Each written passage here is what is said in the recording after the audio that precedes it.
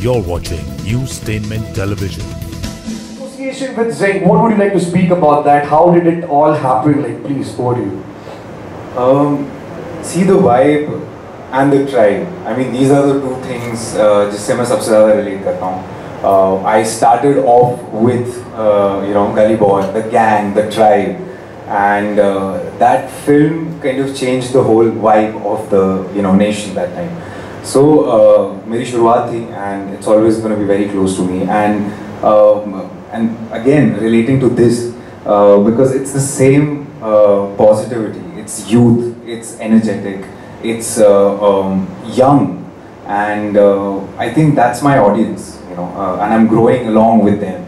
And um, you know, usually होता क्या है कि uh, ऐसा कहते हैं कि you know जो youth हैं हमारे uh, because they are you know always evolving. Uh, ऐसा लगता है कि लोग उन्हें समझ नहीं पा रहे हैं क्योंकि मेरे साथ भी ऐसे ही हो रहा था मैं सीए कर रहा था और uh, करना मुझे मतलब एक्टर बनना था। Uh, तो ऐसे लगता था यार लोग समझ नहीं पा रहे कि मैं क्या चाहता हूँ। Um, क्योंकि जो आज की यंग जनरेशन है जो युवा पीढ़ी है they know what they doing they are very much aware because of the internet and you know the influx of different films music um, you know, uh, different kind of um, you know content which they're watching every day on, on their social media.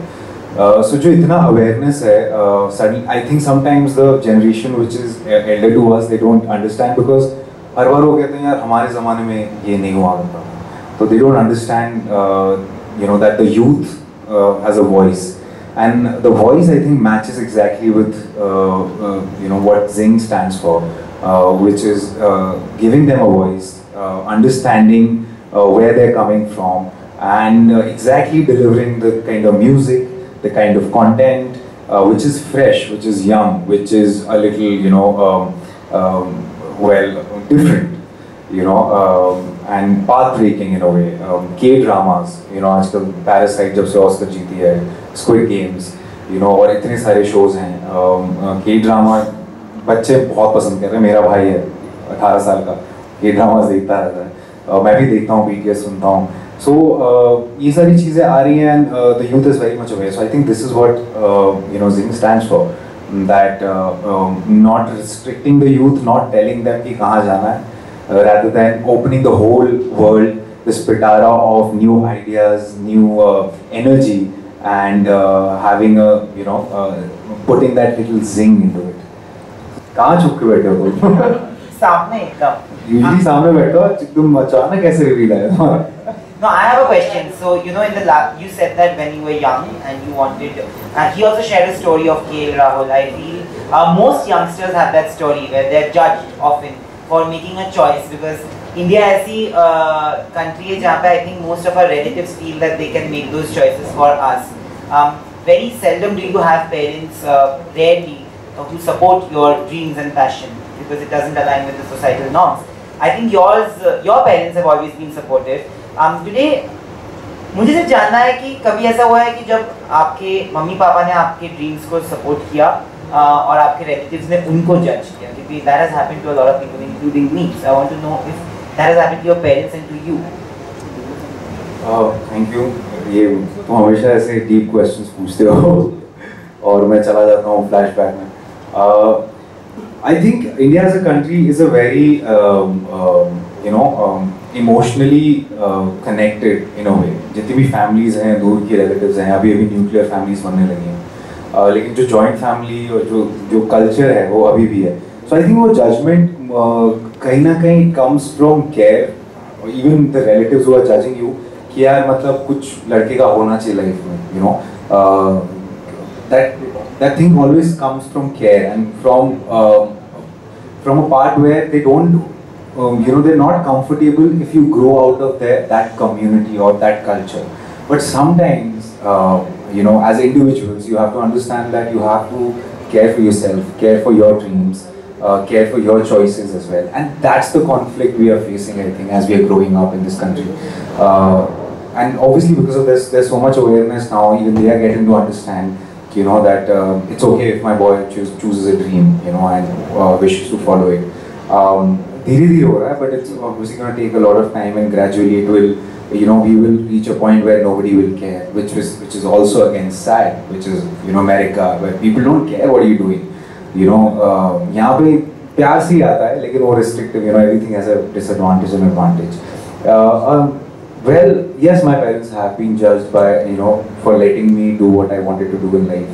And judgment coming in uh, प्यार के packet में कि यार अपने बेटे को कुछ करवा लो नहीं तो क्या करेगा? देखो उसका बेटा ये कर रहा है तुम्हारा बेटा थोड़ा कुछ अलग रास्ते पे निकल गया देखो कहीं हमारा ना हो जाए लाइफ में। तो ये सारी चीज़ें आती थी। So my parents always were you know they should listen to them because they also have to be part of the community so you can't tell them. You can't explain it to them ever. The only way you can do it is by your actions. So it was my responsibility to make my parents you know uh, proud. क्योंकि कल तक जो सिखा रहे थे अगर तुमने करके दिखा दिया तो कल तुमसे सीखेंगे it's a simple thing so उनको बता नहीं सकते उनके साथ आप झगड़ा नहीं कर सकते कि नहीं आपको क्या पता मेरा बेटा है वहाँ पे सुन के हमेशा पापा कहते थे हाँ ठीक है आप सही बोल रहे हैं मैं समझाता हूँ उसको अह, नहीं नहीं वो कुछ ऐसा नहीं कर रहा वो तो ऐसे ही मतलब ट्राई कर रहा है चीज़ें। उसको करना तो चार्टर्ड अकाउंटेंसी है। तो वो चुप हो जाते थे, वो भी खुश मम्मी पापा भी खुश। और पापा मुझसे हमेशा कहते थे कि जिस मीडिया जिस फ़ील्ड में तुम जा रहे हो मीडिया उसमें कभी तुम्हें ज़रूरत नहीं पड़ेगी बताने की कि मैं कुछ कर रहा हूँ। अगर कुछ हुआ तो पता चल जाएगा और नहीं हुआ तो ऐसे ही रहते हैं, चुपचाप। तो ऐसा हमने कुछ फिगर आउट किया था कि वो भी खुश रहे, हम भी खुश रहे। और अचानक जब Gully Boy I in fact Inside Edge के बाद तक पेरेंट्स ने नहीं बताया था कि वो एक्टिंग करने वाला है। उन्होंने कहा नहीं वो ऐसे ही चलते चलते ऑडिशन पहुँच गया सिलेक्ट हो गया तो उसने ऐसे ही कर दिया दे तो दे तो रहा है फाइनल लेकिन जब गली बॉय आई उसके बाद जब फ़ोन आया कि अरे ये तो पता है नहीं ये तो बहुत अच्छा है। तो तब डैड ने बताया कि हाँ तो क्या आप ये नहीं करना चाहिए उसको? तो, तो बहुत अच्छा कर रहा है। तो फिर उन्होंने हाँ शायद नहीं करेगा। पता नहीं ये भी अभी भी उसके हाथ में है। तो dad always maintains it and I think he takes like वो थोड़ी खिंचाई भी ले लेते हैं वैसे उस तरह से बट सेंसिटिवली डील करना चाहिए बिकॉज़ ऐसा नहीं कि मेरे रिलेटिव गंदे हैं वो मुझे हाँ, उनका अपना एंगल है वो भी प्यार मोहब्बत से बोल रहे हैं। तुम्हारे दादा परदादा को देखा हुआ है तुम्हारे चाचा को देखा हुआ है तो वो केयर से आते हैं कि यार ये ये ये परिवार का कुल दीपक है। इसका कुछ होना चाहिए तो एक थोड़ा नाम रहे समाज में। तो ये जो समाज वाली फीलिंग है you know that's what it is and आगे चल के ये शायद कहीं फेड हो जाएगी। जब कोई पूछेगा भी नहीं किसी से कि यार uh, पता भी नहीं होगा तुम्हारी बुआ जा रही है बुआ की बेटी तो रिलेटेड हो ये भी नहीं पता होगा। Um, वो दिन बहुत जल्दी आने वाला है लेकिन वो भी दुखद है so I like the care but you have to just show it by actions I think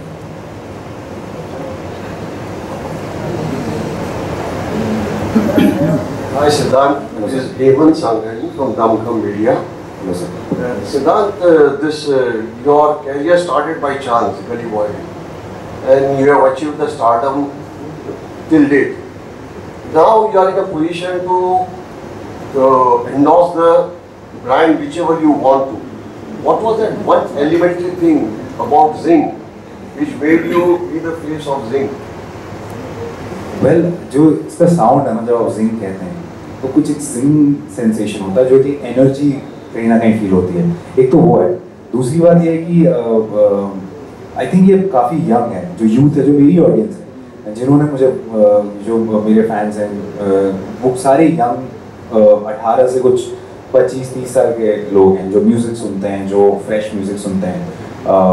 तो मेरी ऑडियंस वहाँ थी इस ब्रांड के पास। और मैं कहीं और था तो मुझे लगा, यार, मुझे जल्द से जल्द भाग के इस ब्रांड के पास आना है और इसे एंडोर्स करना है। क्योंकि मेरी जो वाइब है, जो मैं जिस तरह से हूँ मतलब कि थोड़ा लाइफ में यू नो थोड़ा कूल रहना चाहिए, थोड़ा रिलैक्स रहना चाहिए। कुछ नई नई चीज़ें, कुछ नए नए म्यूज़िक कुछ नई नई फ़िल्में कुछ कुछ नया करना नहीं तो I think that's what innovation and you know उसके साथ एक कूल फैक्टर जो है uh, वो है सिंह और uh, इसी वजह से uh, मुझे था कि मुझे इसका निर्माण no I part of it most importantly now being face of Zing तो since you vibe with the youngsters so there be any inputs from your end for any future programmes coming on Zing और you will be part of it also in future I mean inputs तो uh, अभी फ़िलहाल uh, ऐसे कुछ है नहीं I think because they have the best music they have the best K dramas आ रहे हैं।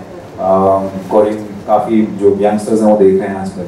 तो uh, पता नहीं को अभी मतलब कोरियन इंडस्ट्री में चांस मिले ना मिले मुझे। लेकिन मेरे गाने आते रहेंगे। ऐसे ऐसे ऐसी चीज़ें करूँगा ऐसी फ़िल्में करूँगा कि जो गाने यहाँ पे आए और जो यूथ से कनेक्ट हो जाए। Youth sensation, latest. So are you all set to dethrone uh, Varun Dhawan? सही सही बोलना। uh, उसके बहुत ह्यूज फैंस हैं यू नहीं नहीं मतलब ऐसा नहीं मैम मैं खुद उनका फ़ैन कॉलेज में था तो स्टूडेंट ऑफ़ द ईयर आई थी और मैं खुद उनका फ़ैन हूँ ऐसा कोई डीथ्रोन नहीं है। उनके फैंस भी हैं और उनके कुछ फैंस हमारे फैंस भी हैं। तो वाटर चलते रहना चाहिए। आई थिंक फैंस का यहाँ से वहाँ क्योंकि सब सबकी फ़िल्में पसंद होनी चाहिए। आजकल तो पूरा ही खुल गया पिटारा। तो अ, पता नहीं कौन किसका फ़ैन है कौन कहाँ जा रहा है कौन कैसे सब लोग सारी फ़िल्में देख रहे हैं। अम, काफ़ी वाइड हो गया है एक तरह से। अम, तो यहाँ पे आई थिंक लड़ाई फैंस की नहीं है यहाँ पे लड़ाई कंटेंट की है। अ, यहाँ पे लड़ाई एज एज एन ऑडियंस जैसे कि आपने कहा कि पुराने गाने भी आते हैं। सॉरी मैम मैंने मिस कर दिया वो। क्योंकि मैं पुराने गाने भी सुनता हूँ, मम्मी पापा मुझे सुनते रहते हैं। तो मुझे नहीं लगता कि एक कोई फोकस पॉइंट है यू नो कि यूथ इनका है। आई थिंक अब जो भी फ़िल्में बन रही हैं, जो कह रहे हैं पैन इंडिया ये सबके लिए बननी चाहिए। और तभी आई थिंक हम आगे बढ़ेंगे, क्योंकि कब तक अपने आप में ही हम लड़ते रहेंगे, अभी ऑस्कर्स भी जाना है। कोरियन फ़िल्में पहुँच गई हैं वहाँ पे। हम अपने में ही हैं कि तुम्हारा ये, हमारा ये। तो फैंस का भी वही है ma'am I think I think जो भी जिसके भी फैंस होते हैं डिजर्व द बेस्ट चाहे वो मेरे हों, चाहे वरुण के वो काफ़ी ज़्यादा हैं. They just deserve the best content and I don't think अब फैंस भी वो रह गए हैं. अब आप हमारे जो मेरे मम्मी पापा कहते हैं, और आप जानती होंगी, उस ज़माने के जो स्टार्स तो फैंस मतलब चाहे कैसी भी फ़िल्म हो वो जाते थे, वो फ़िल्में देखते थे। वो एक लॉयल्टी थी। आई थिंक वो लॉयल्टी फैक्टर एनी में मिसिंग है। Because of because of stars के फैंस नहीं है, अब कंटेंट के फैंस हैं। अगर आप मुझे एंटरटेन कर रहे हो तो मैं आपका फ़ैन हूँ। नहीं तो फिर यहाँ पे वो नहीं है। तो इस वजह से हम पे ज़्यादा प्रेशर है एक्टर्स क्रिएटर्स पे ज़्यादा प्रेशर है कि अच्छा कंटेंट बनाएँ। क्योंकि शायद हमें वो लिबर्टी नहीं है जो हमारे से पहले शाहरुख सर, चाहे अमिताभ सर, आमिर सर, सलमान खान के अभी भी उतने लॉयल फैंस हैं। तो हमारे फैंस तो जो भी है हमको बस बचाने बांटने नहीं। तो ये कहना चाहूँगा आप कह रहे थे कि ऑस्कर्स भी जाना है। कल ही हमारी वार्तालाप हुई करण जौहर से। तो कह रहे थे कि अब कुछ पैन इंडिया और कुछ नहीं है we are Indians and R R R and all these films have proved you know that we are done very well. Now we don't need to go to festivals, we don't need to go to Oscars. We ourselves self uh, this thing, you know. क्या कहना चाहिए जी मैं validation की बात नहीं कर रहा हूँ मैं वहाँ जाके ऐसा कोई वैलिडेशन नहीं मैं क्या चाह, चाहता हूँ कि जो लोग यहाँ पे जो फ़िल्में पसंद करते हैं मैं चाहता हूँ कि वो वो फ़िल्में वहाँ भी दिखाई जाएँ। ताकि एक हम भी एक ग्लोबल प्लेटफॉर्म में not for validation just for them to understand कि हमारा भी एक आर्ट है जो सौ साल से चला आ रहा है। तो मेरे लिए वो ज़्यादा महत्वपूर्ण है। कि वो उस स्टेज पर जाएँ और लोग तालियाँ बजाएँ। अ, हमारे कल्चर को देख के हमारे आर्ट को देख के। रादर देन वैलिडेशन वैलिडेशन की तो बात ही नहीं हमने इतनी बड़ी बड़ी फ़िल्में बनाई हैं अ, हमारी इंडस्ट्री में। मुगल आज़म से लेके लगान हो गई और बहुत सारी फ़िल्में हैं आर आर आर है। तो मुझे नहीं लगता कि कहीं कम है किसी भी फ़िल्म से। बट मैं ये समझता हूँ कि ये जितनी इसकी रीच वाइड हो तो हमारा कल्चर वहाँ तक पहुँचे और लोग वहाँ बैठें और उस उस चीज़ को एक्सपीरियंस करें क्योंकि कि हमारे इमोशंस जिस तरह से हम दिखाते हैं वो काफ़ी अलग होते हैं।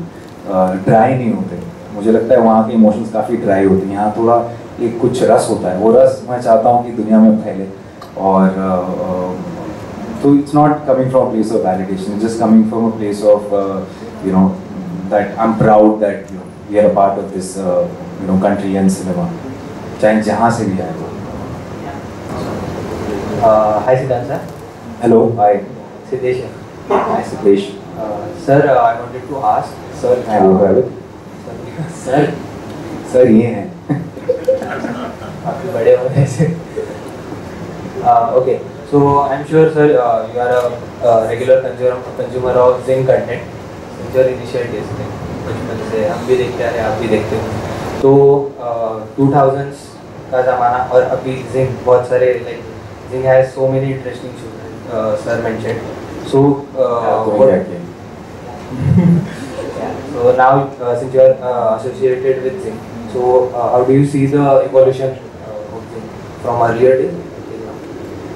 Uh, मैं आई थिंक जिंग आपको वही कंटेंट प्रोवाइड करता है जो सबसे फ्रेश है जो सबसे नया है और uh, पिछले 10-15 सालों में काफ़ी चीज़ें चेंज हुई हैं म्यूज़िक में भी रैप आ गया। और म्यूज़िक काफ़ी चेंज हुआ है। कहते हैं कि मतलब पहले लिरिक्स के मतलब हुआ करते थे। अब लिरिक्स के मतलब नहीं होते तो काफ़ी चीज़ें चेंज हो गई हैं, लेकिन डिफरेंट डिफरेंट जनरेशन हैं। अलग अलग टाइप की म्यूज़िक है। अलग अलग टाइप के शोज़ हैं। के ड्रामास भी आ गए हैं। उनके अलग यू नो फ़ैन फॉलोइंग है उनकी। उनके अलग यू नो कंटेंट है। तो हम मुझे लगता है कि हम इवॉल्व हो रहे हैं हर तरीके से। और जो भी एवोल्यूशन में जो सबसे uh, क्या बोलते हैं जो सबसे कूल चीज़ें होती हैं जो सबसे फ्रेश चीज़ें होती हैं I think Zing picks it up and you know showcases it और एम्पलीफाइज इट और uh, वो यूथ तक पहुँचती हैं और फिर ऑब्वियसली टेस्ट उस हिसाब से और बढ़ता रहता है और चेंज होता रहता है। बट एवोल्यूशन तो हर चीज़ में है यार आर्ट फॉर्म है तो वो एक तरीके से नहीं रह सकता। uh, यहाँ पे नए गाने भी दिखाए जाते हैं पुराने भी दिखाए जाते हैं तो सारे मतलब एक मिश्रण है एक तरह से it's a good mix of the new gen and you know the older mix which is kind of fresh. So it has an audience for everything. uh, but ultimately platform है। तो uh, जो भी आप देखोगे वो uh, सबसे relevant चीज़ें होंगी फिल्टर्ड चीज़ें होंगी। Um, और कई बार ऐसी चीज़ों की जो शायद इतनी फ़ेमस नहीं है लेकिन यूनो सिंह आपके पास लाता है। के ड्रामाज इतने सारे मैंने सुने भी नहीं हैं बहुत सारे नाम लेकिन अब मैं देख रहा हूँ जो आ रहे हैं और काफ़ी फ़ैन फॉलोइंग है वहाँ पे लोगों की। So am glad that Zing is doing this and bringing the best fresh content across It's very important, very important. Relationship is being brined with the zinc. Siddhant, you are a very good rapper as such. Have you thought about some words regarding zing? How can you rap the zing, zing word in the your rap uh, this format? Sir मैं rapper नहीं हूँ ये बोल बोल के मैं थक गया हूँ but I am thank you so much कि आपको लगा कि मैं हूँ क्योंकि मैंने वो किरदार निभाया था और मैं हाँ सर वो मैं सीरियल किलर या चीटर भी नहीं हूँ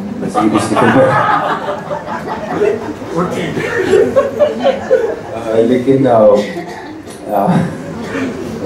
सर रैप तो मतलब मैंने उस टाइम उस समय किया था।